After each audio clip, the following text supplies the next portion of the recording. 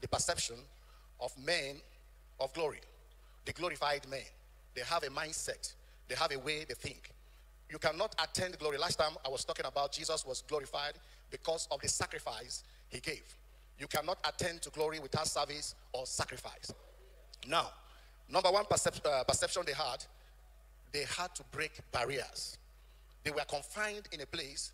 They have to do what? They break. They have to. You have to break out. You don't need to be confined in a place.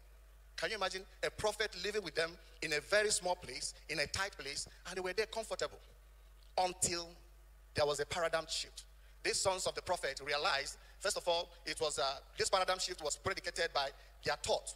They begin to think that where we are is a confined place. They begin to not only think, they begin to speak and they begin to act. Praise God. You know, some people will say you think big, you act big, you dream big. But if you think big or dream big without acting big, nothing changes.